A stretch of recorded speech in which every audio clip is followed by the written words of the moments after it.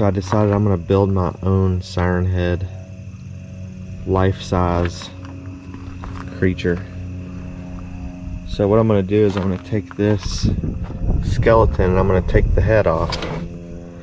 And I bought these, this horn kit on Amazon. I think it was like 20 bucks. Got one horn there and another one here. And I'm gonna somehow mount these up here just like Siren Head. Got the little miniature screwdriver.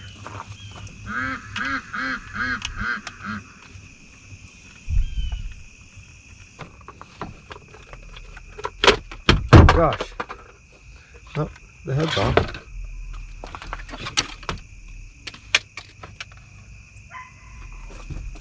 Ugh. Rolled under the van. Alright, so the head's off.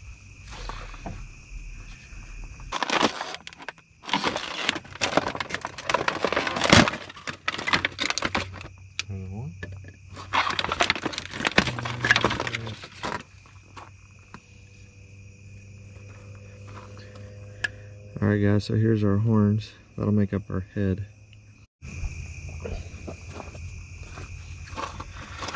Alright guys, now basically I just need to get something like a rod that'll go from here up.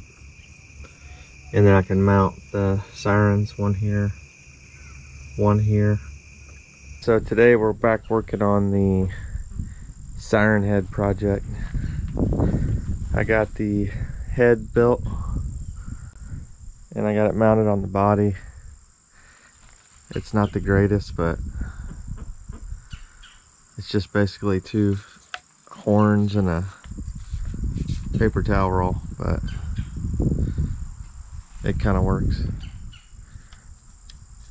And they're just zip tied on, so basically now I'm just gonna paint it. I'm gonna paint it black. And then I got some brown. I'm gonna go back with some brown and paint it with that too. All right, let's get to painting.